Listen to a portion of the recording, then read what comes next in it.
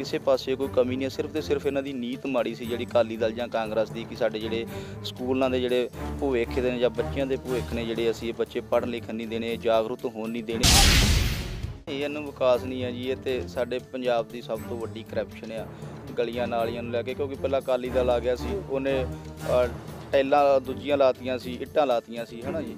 ਉਹ ਸਰਕਾਰੀਆ ਸਾਹਿਬ ਆ ਗਏ ਬਾਅਦ ਵਿੱਚ, ਉਹਨਾਂ ਨੇ ਪੁੱਟ ਕੇ ਇੱਟਾਂ ਪੁੱਟ ਕੇ ਤੇ ਟੈਲਾਂ ਹੀ ਲਾਤੀਆਂ ਹੁਣ ਕਿਤੇ ਟੈਲਾਂ ਆਹ ਲੋਕ ਟੈਲਾਂ ਲੱਗੀਆਂ ਨੇ, ਉਹ ਪੁੱਟ ਕੇ ਆਪਾਂ ਫਰਸ਼ ਪਾਈ ਜਾਂਦੇ ਆ ਸੋ ਇਹ ਵਿਕਾਸ ਨਹੀਂ ਆ ਕਈ ਇਹੋ ਜਿਹੇ ਵੀ 75 ਸਾਲ ਹੋ ਚੱਲੇ 74 75 ਸਾਲ ਆਜ਼ਾਦੀ ਮਿਲੀ ਨੂੰ। ਲੋਕ ਟੈਕਸ ਤਾਰ ਰਹੇ ਨੇ, ਸਾਰੀ ਜ਼ਿੰਦਗੀ ਟੈਕਸ ਤਾਰਦੇ ਰਹਿੰਦੇ ਨੇ। ਮੈਂ ਤੁਹਾਨੂੰ ਇਹੋ ਜਿਹੇ ਵੀ ਜੇ ਦੋ ਤਿੰਨ ਪਿੰਡ ਦਿਖਾ ਸਕਦਾ ਕਿ ਜਿੱਥੇ ਤੱਕ ਸਾਡੇ ਸ਼ਮਸ਼ਾਨ ਘਾਟ ਹੀ ਨਹੀਂ ਬਣਿਆ, ਜਿੱਥੇ ਸ਼ਮਸ਼ਾਨ ਘਾਟ ਹੈਗਾ, ਉੱਥੇ ਰਸਤਾ ਹੀ ਨਹੀਂ ਹੈਗਾ। ਜਦੋਂ ਗੁਰੂ ਗ੍ਰੰਥ ਸਾਹਿਬ ਜੀ ਦੀ ਬੇਦਬੀ ਦੀ ਗੱਲ ਹੋਈ ਹੋਵੇ, ਜਿਹੜਾ ਉਸ ਹਲਕੀ ਦੀ ਜ਼ਿੰਮੇਵਾਰੀ ਆ ਉਹ ਨੁਮਾਇੰਦਾ ਆ। ਜਿਹੜਾ ਉਹ ਬਿਆਨ ਖੁਦ ਆਪ ਹੀ ਦੇ ਰਿਹਾ ਹੋਵੇ, ਕਿ ਕਿਤੇ ਮਾੜੀ ਮੋਟੀ ਜੀ ਗੱਲ ਹੈ ਜੀ ਗੁਰੂ ਗ੍ਰੰਥ ਸਾਹਿਬ ਜੀ ਦੀ ਬੇਦਬੀ ਹੋਣੀ ਹੈ ਤੇ ਹੁੰਦੀਆਂ ਰਹਿੰਦੀਆਂ, ਕੋਈ ਵੱਡੀ ਗੱਲ ਨਹੀਂ। ਸੋ ਉਹ ਤੋਂ ਆਪਾਂ ਹਲਕੇ ਦੀ ਕੀ ਆਸ ਕਰਦੇ ਹੋ ਤੇ ਉਹਦੇ ਤੇ ਫਿਰ ਜ਼ੀਰੋ ਹੀ ਆਸ ਰੱਖਾਂਗੇ ਕਿ ਜੰਨਾ ਜਿਹੜਾ ਉਹ ਸਾਡੇ ਗੁਰੂ ਗ੍ਰੰਥ ਸਾਹਿਬ ਜੀ ਦਾ ਨਹੀਂ ਹੋਇਆ, ਸਾਡੇ ਗੁਰੂਆਂ ਦਾ ਨਹੀਂ ਹੋਇਆ, ਸਾਡਾ ਜਾਂ ਹਲਕੇ ਦਾ ਕਿੱਥੋਂ ਹੋਊ। ਸਕੂਲਾਂ ਦੀ ਗੱਲ ਕਰੀਏ, ਹਰੇਕ ਪਿੰਡ ਦੇ ਵਿੱਚ ਸਕੂਲ ਹੈ। ਇੰਨਾ ਵੱਡਾ ਪੰਜਾਬ ਹੈ ਕਿ ਲੱਗਦਾ ਹੈ ਕਿ 5 ਸਾਲਾਂ ਦੇ ਵਿੱਚ ਤੁਸੀਂ ਸਾਰਾ ਉਹ ਅਪਗ੍ਰੇਡ ਕਰ ਦਿਓ ਕਿ ਜਿਹੜੀਆਂ ਕੰਮ ਪਿਛਲੀਆਂ ਸਰਕਾਰਾਂ 70 75 ਸਾਲ ਦੇ ਵਿੱਚ ਨਹੀਂ ਕਰ ਪਾਈਆਂ। ਬਾਕੀ ਜਿਹੜਾ ਰੋਡ ਮੈਪ ਬਿਲਕੁਲ ਤਿਆਰ ਆ ਸਾਡਾ, ਲੇਕਿਨ ਉਹ ਲੀਕ ਆਊਟ ਇਸ ਕਰਕੇ ਨਹੀਂ ਕਰਦੇ। ਤੁਸੀਂ ਦੇਖਿਆ ਪਹਿਲਾਂ ਵੀ ਕਿ ਇੱਕ ਸਾਡਾ 1000 ਰੁਪਿਆ ਮਹਿਲਾਵਾਂ ਨੂੰ ਗਰੰਟੀ ਨੂੰ ਲੈ ਕੇ ਆਇਆ ਸੀ।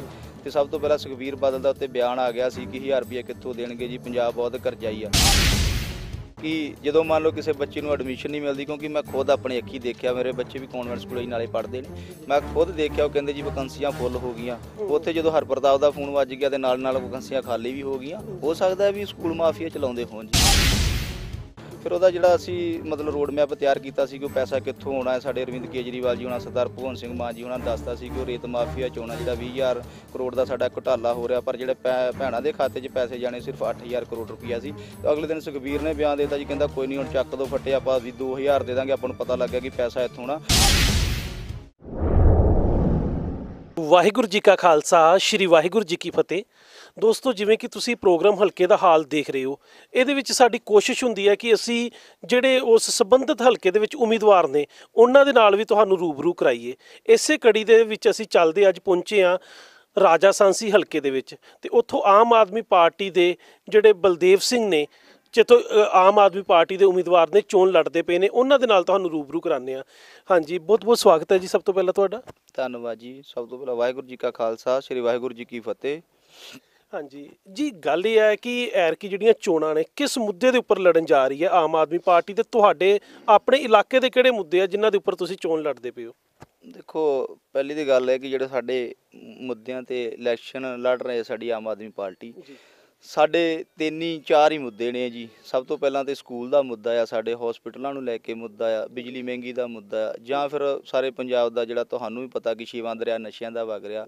ਇਸ ਚੀਜ਼ ਨੂੰ ਸਾਡੇ ਜਿਹੜੇ ਅਹਿਮ ਮੁੱਦੇ ਨੇ ਉਹ ਲੈ ਕੇ ਲੈ ਕੇ ਇਲੈਕਸ਼ਨਾਂ ਜਿਹੜੀਆਂ ਉਹ ਲੜ ਰਹੇ ਨੇ। ਤੇ ਜੇ ਗੱਲ ਕਰੀਏ ਅਸੀਂ ਰਾਜਾ ਸੰਸੀ ਹਲਕੇ ਦੀ ਜੀ। ਉਹ ਤੇ ਲਗਭਗ ਜਿਹੜੇ ਰਵਾਇਤੀ ਪਾਰਟੀਆਂ ਨੇ ਮਤਲਬ ਅ, ਕੈਬਨਿਟ ਮੰਤਰੀ ਵੀ ਰਹੇ ਨੇ ਸਾਡੇ ਸੁਖਵਿੰਦਰ ਸਿੰਘ ਸੁਖ ਸਰਕਾਰੀਆ ਜੀ ਵੀ। ਅਨੇਕਾਂ ਕੰਮ ਜਿਹੜੇ ਨੇ ਅਧੂਰੇ ਪਏ ਨੇ ਸਾਡੇ ਖਾਸ ਕਰਕੇ ਜਿਹੜੀ ਬਾਰਡਰ ਬੈਲਟ ਆ ਕਈ ਇਹੋ ਜਿਹੇ ਵੀ 75 ਸਾਲ ਹੋ ਚੱਲੇ 74 75 ਸਾਲ ਆਜ਼ਾਦੀ ਮਿਲੀ ਨੂੰ।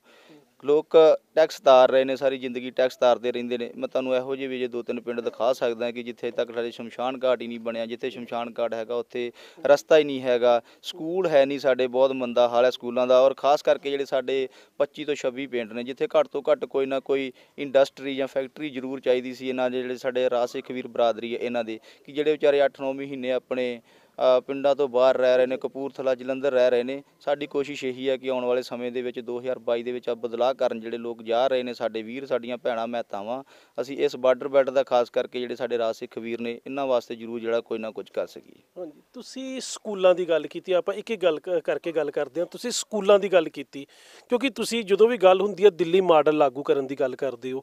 ਕੀ ਪੋਸੀਬਲ ਹੈਗਾ ਹੈ ਕਿ ਮਤਲਬ ਜਿਹੜਾ ਦਿੱਲੀ ਵਾਲਾ ਮਾਡਲ ਹੈ, ਸਕੂਲਾਂ ਦੀ ਗੱਲ ਕਰੀਏ, ਹਰੇਕ ਪਿੰਡ ਦੇ ਵਿੱਚ ਸਕੂਲ ਹੈ ਇੰਨਾ ਵੱਡਾ ਪੰਜਾਬ ਹੈ ਕਿ ਲੱਗਦਾ ਹੈ ਕਿ 5 ਸਾਲਾਂ ਦੇ ਵਿੱਚ ਤੁਸੀਂ ਸਾਰਾ ਉਹ ਅਪਗ੍ਰੇਡ ਕਰ ਦਿਓ ਕਿ ਜਿਹੜੀਆਂ ਕੰਮ ਪਿਛਲੀਆਂ ਸਰਕਾਰਾਂ 70 75 ਸਾਲ ਦੇ ਵਿੱਚ ਨਹੀਂ ਕਰ ਪਾਈਆਂ। ਬਿਲਕੁਲ ਜੀ, ਬਿਲਕੁਲ। ਨਾਲ ਹੀ ਕਿਹੜੀ ਗੱਲ ਦੇਖੋ, ਦਿੱਲੀ ਦੇ ਸਕੂਲ ਵੀ ਪਹਿਲਾਂ ਤੇ ਇਹੀ ਹਾਲ ਸੀ। ਅਰਵਿੰਦ ਕੇਜਰੀਵਾਲ ਜੀ ਹੁਣੀ ਆਏ ਉੱਥੇ, ਉਹਨਾਂ ਨੇ ਸਕੂਲ ਬਹੁਤ ਵਧੀਆ ਕਰਤੇ। ਇਹੀ ਸਾਡੇ, ਦੇਖੋ, ਟੀਚਰਾਂ ਦੀ ਕੋਈ ਕਮੀ ਨਹੀਂ ਹੈ, ਕੋਈ ਪੜ੍ਹੇ ਲਿਖੇ ਨੌਜਵਾਨ ਨਹੀਂ ਹੈਗੇ ਜਾਂ ਸਾਡੀਆਂ ਭੈਣਾਂ ਨਹੀਂ ਹੈਗੀਆਂ, ਸਾਰੇ ਹੈਗੇ ਤੁਸੀਂ ਨੇਕਾਂ ਪ੍ਰਕਾਰ ਦੇਖ ਹੀ ਰਹੇ ਹੋ ਪਿਛਲੇ ਲੰਮੇ ਸਮੇਂ ਤੋਂ ਕਿ ਜਿਹੜੇ ਕੋਈ ਟਾਵਰਾਂ ਤੇ ਬੈਠੇ ਨੇ ਜਾਂ ਧਰਨਿਆਂ ਤੇ ਬੈਠੇ ਨੇ। ਸੋ ਇਹ ਇਦਾਂ ਦੇ ਕੋਈ ਨਹੀਂ ਕਿ ਨਹੀਂ ਹੈਗਾ, ਸਾਡੇ ਪੰਜਾਬ ਦੇ ਵਿੱਚ ਪੈਸਾ ਨਹੀਂ ਹੈਗਾ, ਕਿਸੇ ਪਾਸੇ ਕੋਈ ਕਮੀ ਨਹੀਂ ਹੈ, ਸਿਰਫ ਤੇ ਸਿਰਫ ਇਹਨਾਂ ਦੀ ਨੀਤ ਮਾੜੀ ਸੀ, ਜਿਹੜੀ ਅਕਾਲੀ ਦਲ ਜਾਂ ਕਾਂਗਰਸ ਦੀ, ਕਿ ਸਾਡੇ ਜਿਹੜੇ ਸਕੂਲਾਂ ਦੇ ਜਿਹੜੇ ਭਵਿੱਖ ਦੇ ਨੇ ਜਾਂ ਬੱਚਿਆਂ ਦੇ ਭਵਿੱਖ ਨੇ ਜਿਹੜੇ ਅਸੀਂ ਇਹ ਬੱਚੇ ਪੜ੍ਹਨ ਲਿਖਣ ਨਹੀਂ ਦੇਣੇ, ਜਾਗਰੂਕ ਹੋਣ ਨਹੀਂ ਦੇਣੇ, ਸਾਡੀ ਸੋਚ ਇਹ ਹੈ ਕਿ ਅਸੀਂ ਇਹ ਜਿਹੜੇ ਬੱਚੇ ਨੇ ਜਿਨ੍ਹਾਂ ਨੇ ਆਉਣ ਵਾਲੇ ਸਮੇਂ ਦੇ ਵਿੱਚ ਸਾਡੇ ਪੰਜਾਬ ਦੀ ਅਗਵਾਈ ਕਰਨੀ ਆ, ਉਹ ਇੱਕ ਸਰਕਾਰੀ ਸਕੂਲ ਦੇ ਵਿੱਚ ਪੜ੍ਹਿਆ ਲਿਖਿਆ ਹੋਊਗਾ, ਉੱਥੋਂ ਦੇ ਹੀ ਬੱਚਾ ਜਿਹੜਾ ਅਗਵਾਈ ਕਰੂਗਾ। ਦੂਜੀ ਗੱਲ, ਇੱਕ ਵੱਡਾ ਮ- ਜਿਹੜਾ ਮਸਲਾ ਲੱਗਦਾ ਹੈਲਥ ਦਾ, ਅਸੀਂ ਅਕਾਲ ਚੈਨਲ ਦੀ ਟੀਮ ਵੱਲੋਂ ਅੰਮ੍ਰਿਤਸਰ ਤੋਂ ਸਾਰੇ ਹਰਕਿਆਂ ਦੇ ਵਿੱਚ ਜਾ ਰਹੇ ਹਾਂ, ਪਰ ਸਾਨੂੰ ਅਜੇ ਤੱਕ ਕਿਤੇ ਵੀ ਕੋਈ ਜਿਹੜਾ, ਖਾਸ ਕਰਕੇ ਇਹ ਬਾਰਡਰ ਵਾਲੇ ਇਲਾਕੇ ਨੇ, ਕਿਤੇ ਵੀ ਕੋਈ ਚੰਗਾ ਹਸਪਤਾਲ ਨਹੀਂ ਮਿਲਿਆ। ਅਸੀਂ ਦੇਖਦੇ ਪਿਆ ਕਿ ਇਲਾਜ ਕਰਾਉਣ ਵਾਸਤੇ ਫਿਰ ਲੋਕਾਂ ਨੂੰ ਜਿਹੜਾ ਸ਼ਹਿਰ ਆਣਾ ਪੈਂਦਾ ਵਾ। ਕੀ ਤੁਹਾਡੇ ਕੋਲ ਇਹਦੇ ਵਾਸਤੇ ਰੋਡ ਮੈਪ ਹੈ ਕਿ ਲੋਕਾਂ ਨੂੰ ਇਲਾਜ ਕਰਾਉਣ ਵਾਸਤੇ ਸ਼ਹਿਰ ਨਾ ਆਣਾ ਪਵੇ, ਆਪਣੀ ਲੋਕੈਲਿਟੀ 'ਚ ਜਿਹੜਾ ਇਲਾਜ ਹੋ ਸਕੇ?